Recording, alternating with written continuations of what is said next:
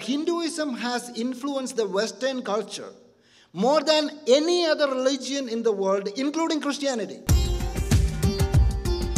Did you know the CEO of Microsoft, Satya Nadella, and the CEO of Google, Sundar Pichai, they are Hindus. Not only Indians, we always associate, oh, Hindus are Indian. Julia Roberts, who is the one of the most iconic movie stars in Hollywood for the last two decades, she is a practicing Hindu. How many of you have heard about Beatles? John Lennon, Paul McCartney, they practice Hinduism on a regular basis and actually they appointed Maharshi Mahesh Yogi as their spiritual director. It is not a funny little thing, some funny little people doing on the other side of the world. It is a, it is a prevalent cultural force in, in the Western, which shaped, which shaped the Western world. Have you ever heard of the words karma, yoga, reincarnation? Did you know these are all coming from the theological vocabulary of Hinduism?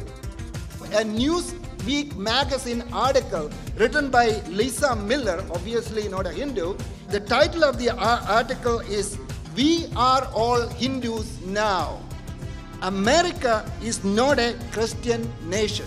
Recent poll data show that, conceptually at least, we are slowly becoming more like Hindus and less like traditional Christians in the way we think about God, ourselves, each other, and eternity. Hinduism, again, is not just some funny, exotic things which is happening on the other side of the planet. It is right here, right now. And that also makes us aware of the fact that we are here as an Indian community church at such a time as this to minister to this culture. We can show them the Christ. You know, when you are in Christ, everything we can find redemptive elements in everything. The point is, to understand and appreciate this religion. No religion we should consider as enemies. People like the seminar on Islam a lot. Everywhere I go, can you do a seminar on Islam? Because people like Islam is so hot right? Islam is hot. Everybody wants to talk about Islam. Everybody wants to know about it. Oh, Hinduism. Oh, that's cute. okay, like your Indian little Indian church is doing a seminar on Hinduism. That's sweet. That, that's that's all they think. They think it is not very relevant.